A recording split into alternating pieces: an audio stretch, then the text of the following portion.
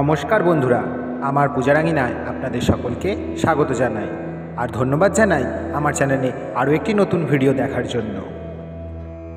যারা আমার চ্যানেলে নতুন, তারা অবশ্যই আমার চ্যানেলটিকে সাবস্ক্রাইব করে নেবেন এবং পাশে রাখা বেল আইকনটি প্রেস করে রাখবেন, কারণ পূজা সংক্রান্ত সমস্ত রকম ভিডিও আমি আপলোড করার সঙ্গে সঙ্গেই চ্যানেলেও সমস্ত নোটিফিকেশান আপনাদের কাছে পৌঁছে যায়। আজ আমি আপনাদের সঙ্গে শেয়ার করব মহাশিবরাত্রির পূজা আপনারা বাড়িতে কীভাবে করবেন? অলরেডি আমি একটা আমার ভিডিও আপলোড করেছি চ্যানেলে যে মহাশিবরাত্রি দু হাজার বাইশের সময়সূচি এবং যারা বাড়ির বাইরে গিয়ে শিবলিঙ্গে জল অর্পণ করবেন, তারা কি কি সামগ্রী নিয়ে যাবেন এবং চার প্রহরের পূজার সময়সূচিও আপলোড করেছি। যারা এখনও পর্যন্ত দেখেননি, অবশ্যই সেই ভিডিওটি দেখে নেবেন। সেই ভিডিওর লিংক আমি আমার ডেসক্রিপশান বক্সে দিয়ে দেব এবং আই বাটনেও দিয়ে দেব। তো আজকের বিষয় হলো, মহাশিবরাত্রির পূজা আমরা বাড়িতে কীভাবে করব সেই পূজা পদ্ধতি আমি প্র্যাকটিক্যালি দেখিয়ে দেব এবং আমার শিব পূজা নিয়ে কিছু প্রশ্ন এসেছে আমার আগের ভিডিওতে। সেই ভিডিওর যে সমস্ত প্রশ্নগুলো এসছে, সেই প্রশ্নের উত্তরগুলো আজ আমি দিয়ে দেব। তো ভিডিওটি শেষ পর্যন্ত দেখার অনুরোধ রইল। ভিডিও শুরু করার পূর্বেই আপনাদের কাছে আমার বিনীত অনুরোধ, দয়া করে ভিডিওটি স্কিপ করে দেখবেন না। কারণ ভিডিওতে খুঁটিনাটি অনেক বিষয় আছে যেইগুলি আপনাদের জানা খুবই প্রয়োজন। কারণ মহাশিবরাত্রির পূজা আপনারা যখন করবেন, সেই সমস্ত খুঁটিনাটি কোনো ভুল যেন না হয়ে যায়। তাই ভিডিওটি স্কিপ না করেই দেখুন, কারণ ভিডিওটি খুবই গুরুত্বপূর্ণ। চলুন ভিডিওটি শুরু করা যাক।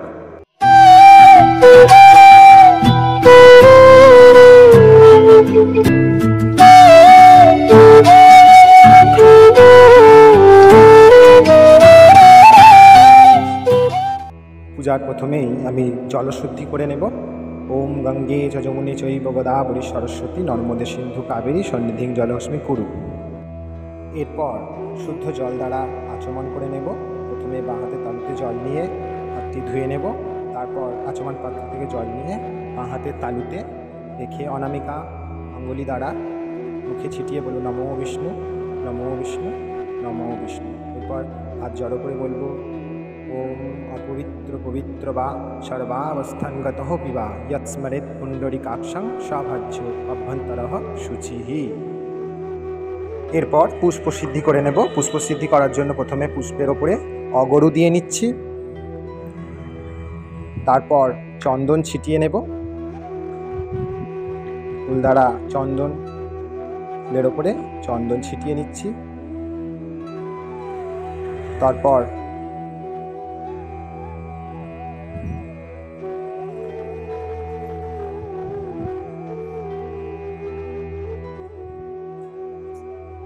পুষ্পের ওপর হাত রেখে বলব ওম পুষ্পে পুষ্পে মহাপুষ্পে সুপুষ্পে পুষ্প সম্ভবে পুষ্পচয়া বকীর্ণে চ হুং ফট স্বাহা। এরপর ঘি নেব। ঘি দ্বারা শিবলিঙ্গ ভালো করে ঘি মাখিয়ে নেব।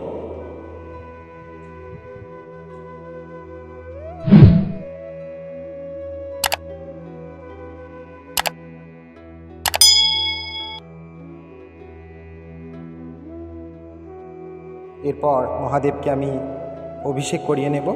দুধ নিলাম, ঘটিতে দুধ রেখেছি। এরপর দুধের মধ্যে দেব ঘি, পঞ্চামৃত তৈরি করে নেব। দুধের মধ্যে দিচ্ছি ঘি, তারপর দেব শর্করা বা চিনি। তারপর দেব মধু। তারপর দই। এই পাঁচটি উপকরণ দ্বারা পঞ্চামৃত তৈরি করে আমি মহাদেবকে অভিষেক করব। অভিষেক করানোর সময় মন্ত্র বলব, ওম ত্রয়ম্বকম যজামহে সুগন্ধিম পুষ্টিবর্ধনা উর্বারকমিব বন্দনাৎ মৃত্যুর্মক্ষিয়মৃতাৎ ওম নমঃ। এরপর এই অভিষেক করানো জলটি আমি কোনো গাছের গোড়ায় ঢেলে দেব। এরপর শিবলিঙ্গে আমি পৈতে অর্পণ করলাম। তারপর আকন্দ ফুলের মালা, এটি মহাদেবের খুবই পছন্দের। ধুতরা ফুল, ধুতরা ফল। এরপর সূর্যদেবের উদ্দেশ্যে জলদান করতে হবে। এবার আচমন পাত্র থেকে জল নিয়ে তার উপরে ফুল দিয়ে বলতে হবে, ওম জবাকুশমশঙ্কাশং কশ্যপেয়ং মহাদ্যুতিম। ধন্তারিং সর্ব পাপঘ্ন প্রণো তস্মি দিবাকরম এরপর গণেশ দেবতাকে ফুল অর্পণ করতে হবে। ফুল নিয়ে বলতে হবে, ওম গণেশায় নম। এরপর নারায়ণের উদ্দেশ্যে জল দান করতে হবে। আচমন পাত্রে জল নিয়ে তার উপরে তুলসীপত্র দিয়ে, ওম শ্রী নারায়ণায় নম। এরপর সংকল্প করে নেব। হাতে কিছুটা আতপ চাল নেব। আতপ চাল অবশ্যই গোটা হতে হবে, ভাঙা নয়। এবার এর মধ্যে একটু শুদ্ধ জল দিয়ে নেব। তারপর একটি সাদা অথবা হলুদ ফুল নিয়ে ভগবান শিবের সামনে হাত রেখে বলব, হে মহাদেব, আপনি আমার পূজা গ্রহণ করুন। আমার সকল মনের ইচ্ছা আপনি পূরণ করুন। ওম নমঃ শিবায়, ওম নমঃ শিবায়, ওম নমঃ শিবায়। এই বলে শিবলিঙ্গের সামনে এটি দিয়ে দেব। এরপর শিবলিঙ্গে হলুদ চন্দন দ্বারা তিলক অঙ্কন করে নেব। অঙ্গুলি দিয়ে তিলক অঙ্কন করে নিচ্ছি। তিনটে তিলক অঙ্কন করে নিলাম। এরপর একটি গোটা কলা শিবলিঙ্গের ওপর বসিয়ে দেব। ওম নমঃ শিবায় নমঃ। এরপর শিবলিঙ্গের উপর বিজয় সংখ্যক দুর্বা অর্পণ করব। ওম নমঃ শিবায় নমঃ। এরপর বেলপাতা নেব। বিজয় সংখ্যক বেলপাতা আপনি তিনটে, পাঁচটা, সাতটা, এরকম করে আপনার ইচ্ছা মতো বিজয় সংখ্যক নেবেন। তার উপরে কিছুটা মধু ছড়িয়ে নেব। বেলপাতার চকচকে দিক যেটা, সেই চকচকে দিকের ওপরে মধু মাখিয়ে নিলাম। এবার বেলপাতার এই যে গোড়াটা ধরে, এই যে চকচকে দিক যে দিকটা, সেই দিকটা আমি শিবলিঙ্গের উপর দিকে এইভাবে। শিবলিঙ্গের উপর এইভাবে চকচকে দিকটা নিচে দিয়ে ওম নমঃ শিবা।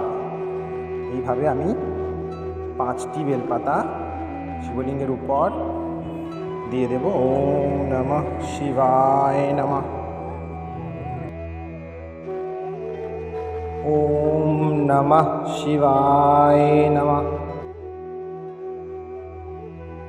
এরপর আমার ডান দিক এবং ভগবানের বাঁ দিকে একটি তেলের প্রদীপ জ্বালিয়ে দেব এবং ধূপ জ্বালিয়ে দেব।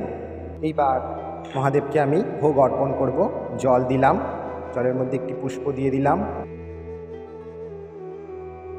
এরপর আমি পাঁচটি, পাঁচ রকমের ফল শিবলিঙ্গে অর্পণ করব। বিল্লপত্র দিয়ে শিবলিঙ্গে স্পর্শ করিয়ে নিলাম। ওম নমঃ শিবায় বলে।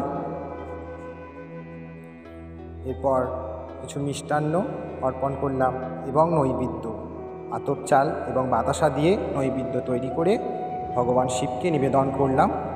হে মহাদেব, আমার দেওয়া নৈবেদ্য আপনি গ্রহণ করুন।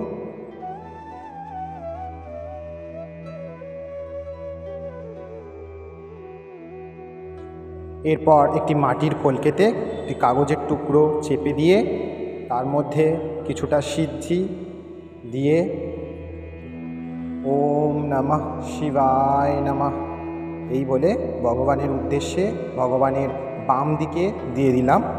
এবার ঘিয়ের প্রদীপ ঘিয়ের প্রদীপ জ্বালিয়ে নেব। ওম নমঃ শিবায় নমঃ। এই বলে ভগবানের সামনে ঘিয়ের প্রদীপটি বসিয়ে দিলাম।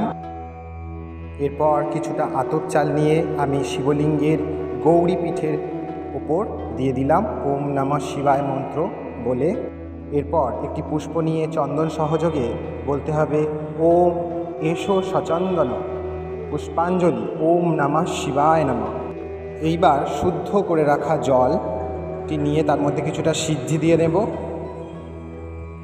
এবং তার মধ্যে একটি ফুল দিয়ে দেব, দিয়ে শিবলিঙ্গের উপর ঢালবো এবং মহামৃত্যুঞ্জয় মহামন্ত্র জপ করব অথবা ওম নামা শিবায় মন্ত্র জপ করতে পারি।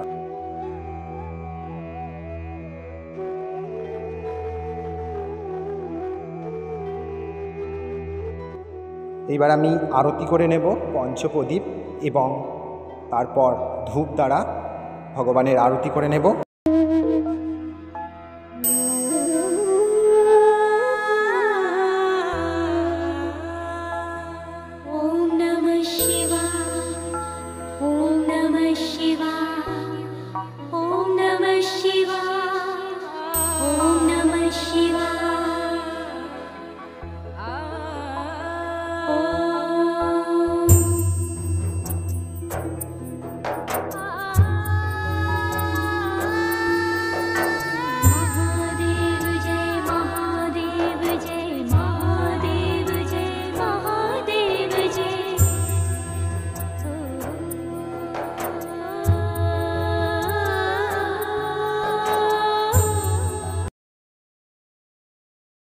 এরপর ভগবানকে আপনি প্রণাম জানিয়ে মনের আশা জানাবেন।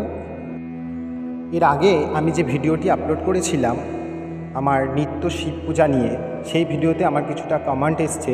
কমেন্টে আমাকে অনেক প্রশ্ন করা হয়েছে, সেই প্রশ্নগুলোর উত্তরই এবার আমি দেব। প্রথম যে প্রশ্নের উত্তর আমি দেব, প্রশ্নটি করেছে, আদিত্য হৃদয় নম। স্যার, আমার বাড়ি নারায়ণশিলা পূজিত হয়। বাবা করেন। আমি কি শিব ঠাকুর পূজা প্রতিষ্ঠা করতে পারি? আপনাকে বলছি হ্যাঁ অবশ্যই করতে পারেন। আপনি নারায়ণ শিলার পাশেই শিবলীলা, শিব শিবলিঙ্গ বসিয়ে পূজা করতে পারেন। কারণ শিব এবং নারায়ণ দুজনে একে অপরের আরাধ্য। তাই আপনি নারায়ণের পাশে বসিয়েই শিবলিঙ্গের সেবা করতে পারেন। পরের প্রশ্ন, তুলতুলি কর্মকার। আপনার প্রশ্ন, আপনার ভিডিও থেকে অনেক কিছু শিখতে পারলাম। এইভাবে আরও অনেক ভিডিও বানাবেন ধন্যবাদ দিদিভাই অবশ্যই আমি আরও ভিডিও বানাবো। আপনাদের এই ধরনের কমেন্টটি আমাকে আগিয়ে নিয়ে যেতে অনেক সাহায্য করে। আমার পূজা পদ্ধতি আপনার ভালো লাগার জন্য অবশ্যই আপনাকে ধন্যবাদ জানাই। সঙ্গে থাকুন। এর পরের প্রশ্নটি আমাকে অনেকেই করেছেন, তো আমি এ প্রশ্নের উত্তরটা দিচ্ছি। তো সবার নাম তো বলতে পারছি না, কয়েকজনের নাম বলছি। প্রতিমা রঞ্জন সরকার আরও অনেকেই রয়েছেন, বলেছেন শিবলিঙ্গে অর্পিত ফলগুলি কি প্রসাদ হিসাবে গ্রহণ করা যাবে? না হলে কি করব? তো আমি আপনাদের বলছি, শিবলিঙ্গে অর্পিত ফলগুলি আমরা গ্রহণ করতে পারি না। এইগুলিকে আমরা নয় পুকুরে জলে দিয়ে দেব, না হয় গোমাতা বা হনুমান, ফলাহারি যে সমস্ত প্রাণী রয়েছে তাদেরকে আমরা খাইয়ে দিতে পারি বা এগুলিকে পুকুরের জলে দিয়ে দিতে পারি। পরের প্রশ্ন, দীপ চ্যানেলস। বলেছেন, বলছিলাম যে শিবলিঙ্গে কি, শিবলিঙ্গ কি কাঠের পাত্রে বসানো যাবে? হ্যাঁ বসাতে পারেন, কিন্তু কাঠের পাত্রের মধ্যে জল দিলে তো কাঠের পাত্র নষ্ট হয়ে যেতে পারে তাড়াতাড়ি। তাই আপনি পাথরের পাত্রে বসানোই ভালো। কাঠের পাত্রে আপনি বসাতেই পারেন। এর প্রশ্ন, জয়শ্রী সরকার, দাদা, আমার কিছু জানার ছিল। আমার শিবলিঙ্গ আছে, কিন্তু লিঙ্গের গায়ে কালো যেটা, সেটা কিছুটা উঠে গিয়েছে। এখন আমার কি করণীয়? আর শিব ঠাকুরকে অর্পণ করা ভোগ কি গ্রহণ করা যাবে? দেখুন, শিব ঠাকুরের ভোগ আমি আপনারা গ্রহণ করতে পারবেন কি না সেই উত্তর অলরেডি দিয়ে দিয়েছি। এবার বলছি, শিবলিঙ্গের ওপর যে কালো দাগ মানে হচ্ছে আপনার শিবলিঙ্গটি পাথরের নয়, এটি জমানো কোনো পদার্থের মানে সিমেন্ট জাতীয়। তো আপনি যদি পারেন, তো শিবলিঙ্গটি পাল্টে নেবেন। কেননা পাথরের শিবলিঙ্গ পুজো করাই ভালো। তো পাথরের শিবলিঙ্গ কিনে নেবেন মার্কেট থেকে। যদি না পারেন তো এইটাকেই আপনি ভালো করে দুধ, ঘি মাখিয়ে নেবেন। দেখবেন আস্তে আস্তে রঙটা কালো এসে যাবে। পরের প্রশ্ন, মমতা দাস, কলা কি দিতেই হবে? না দিদিভাই আপনি কলা নাও দিতে পারেন, কিন্তু কলা দিলে মহাদেব খুশি হন। তাই আমরা কলা দিয়ে থাকি। প্রশ্ন, সুজাতা মণ্ডল, রূপোর শিবলিঙ্গ রাখা যাবে? হ্যাঁ দিদিভাই নিশ্চয়ই রাখা যাবে। শিবলিঙ্গ রূপোর হলেও কোনো ক্ষতি নাই। আপনি রূপোর শিবলিঙ্গ রাখতেই পারেন। বাপন দেবনাথ। স্যার, আপনার হোয়াটসঅ্যাপ নাম্বারটা দেবেন? দেখুন এটা তো, এখানে তো হোয়াটসঅ্যাপ নাম্বার দেওয়া যাবে না। তো আপনি আমার এই একই পূজার আঙিনা, আমার পূজার আঙিনা, এই নামেই আমার ইনস্টাগ্রাম আছে। তো আপনি সেখানে আমার সঙ্গে যোগাযোগ করতে পারেন। পরের প্রশ্ন, মাই অ্যাঞ্জেলা। নিত্য কালী পুজো করার একটা ভিডিও বানাবো প্লিজ হ্যাঁ দিদিভাই, নিশ্চয়ই বানাবো। আপনার কথাটি আমার মনে রইল, কিন্তু এর পরেই বানাবো, কিছুদিন পর সঙ্গে থাকবে। পরের প্রশ্ন, সুচি মিন, খুব সুন্দর পুজোটা, খুব ভালো লাগল। ধন্যবাদ দিদিভাই আপনাকে। আরও অনেকে কমেন্ট করেছেন, আমার খুব ভালো লাগল, আমি আরও এই ধরনের ভিডিও বানানোর অনুপ্রেরণা পেলাম। আপনারা ভালো থাকুন, এই কামনা করি। আমার সঙ্গে থাকুন, আর এখনও যারা আমার চ্যানেলটি সাবস্ক্রাইব করে পারেননি, তারা অবশ্যই আমার চ্যানেলটি সাবস্ক্রাইব করে নিন এবং পাশে রাখা বেল আইকনটি অবশ্যই প্রেস করে রাখবেন। কারণ পূজা সংক্রান্ত যে কোনো ধরনের ভিডিও আমি আপলোড করার সঙ্গে সঙ্গেই আপনার কাছে নোটিফিকেশান পৌঁছে যাবে এবং আপনি সেই ভিডিওটি দেখতে পারবেন। আমার সঙ্গে থাকার জন্য অসংখ্য ধন্যবাদ। সকলে ভালো থাকুন, সুস্থ থাকুন।